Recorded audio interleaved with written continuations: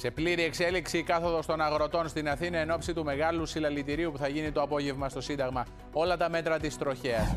Οριακές ισορροπίες των ΣΥΡΙΖΑ. Δεύτερος γύρος στην πολιτική γραμματεία. Σήμερα παρουσία Κασελάκη. Τα μηνύματα του Προέδρου και οι αντιδράσεις.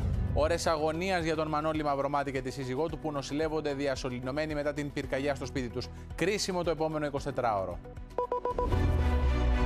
Και τώρα, το μεσημεριανό δελτίο ειδήσεων του ΣΤΑΡ με τον Γιώργο Ευγενίδη.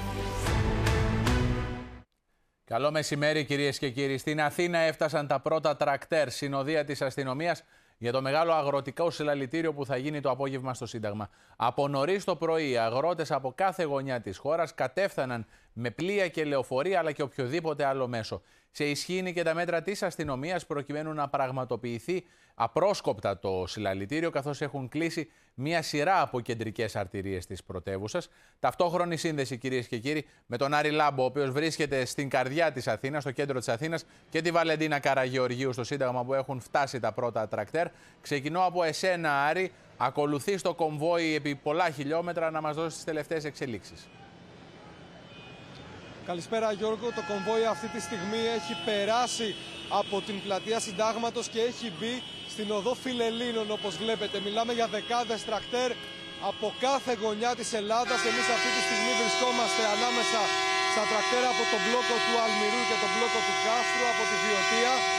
Οι αγρότες έχουν έρθει, έναν, έχουν κάνει ένα πολύ μεγάλο δρόμο, πέρασαν νωρίτερα γύρω στη μία τα διόδια των Αθηνών. Δεν έγινε καμία στάση, συνέχισαν να και κινήθηκαν κατά μήκος της Εθνικής Οδού και της Λεωφόρου Κηφισού προκειμένου να φτάσουν μέχρι το Σύνταγμα. Εδώ αυτή η εικόνα που βλέπετε είναι που έχουν αρχίσει να σταματούν τα τρακτέρ. Θα δούμε αν θα συνεχίσουν στη Πόσα τρακτέρ είναι περίπου, Άρη; Βλέπουμε και πολύ κόσμο συγκεντρωμένο που παρακολουθεί βεβαίως. Είναι μία ώρα που τα μαγαζιά είναι ανοιχτά ε, αυτή.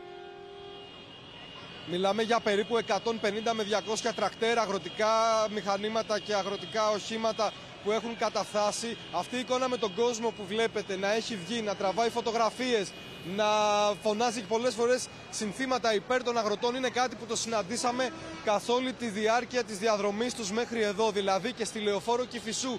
Μην ξεχνάμε ότι ο κόσμος έβλεπε τρακτέρ και αγροτικά μηχανήματα αντί να είναι στα χωράφια να είναι μέσα στις κεντρικότερες αρτηρίες. Είμαστε στο κέντρο της Αθήνας αυτή τη στιγμή που επικρατεί η συγκεκριμένη εικόνα. Επομένως από τις πολυκατοικίες, από τις επιχειρήσεις... Είναι και ρυθμικά τα κορναρίσματα πάντως, πρέπει να το πούμε αυτό, διότι έχει ε, προξενήσει αίσθηση. Έχουν έναν παλμό αγωνιστικό. Ακριβώς το συγκεκριμένο τρακτέρ έχει αυτή την κόρνα που ακούτε. Έχει ένα πολύ ρυθμικό κορνάρισμα που έχει εντυπωσιάσει πάρα Λοιπόν. πολλούς από τους ανθρώπους οι οποίοι βρίσκονται εδώ. Άρη, μία άνω τελεία. Βλέπουμε εμείς και τις ε, ταμπέλες που έχουν βάλει εν είδη πανό μπροστά στα τρακτέρ τους οι αγρότες. Πολλές από τις οποίες είναι και στα αγγλικά, έτσι, προς διεθνοποίηση του μηνύματος που εκπέμπουν οι αγρότες που έχουν κατέβει στην πρωτεύουσα. Να δούμε το ρεπορτάζ που έχει ετοιμάσει κυρίες και κύριοι ο Λάμπρος Δεμερτζής με όλα τα στιγμιότυπα της καθόδου των αγροτών προς την Αθήνα και επανερχόμαστε στις συνδέσεις μας.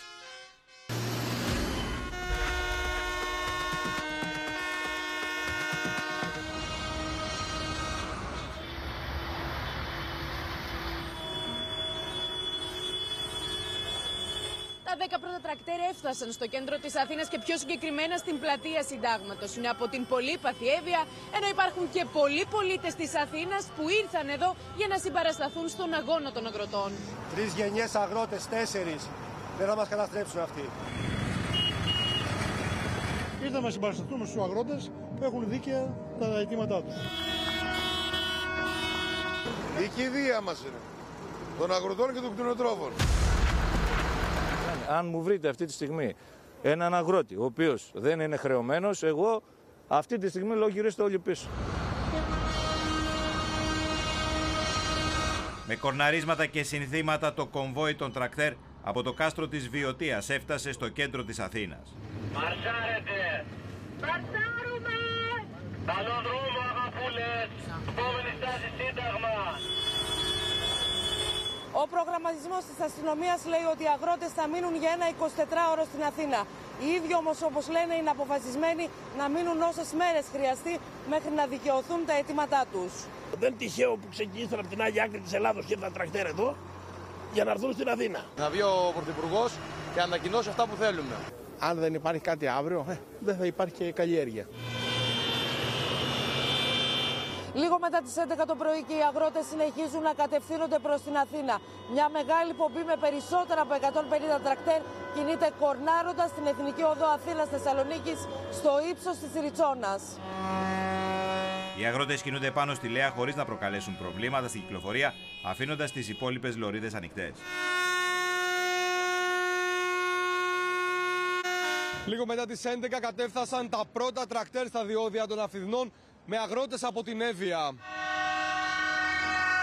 Από τον μπλόκο Κυρίνθου, Μαντούδη, Λίμνη, Αγία Άννα. Έχουμε Εκεί καεί, που καήκαμε. έχουμε πνιγεί και μας έχουν ξεχάσει εντελώς.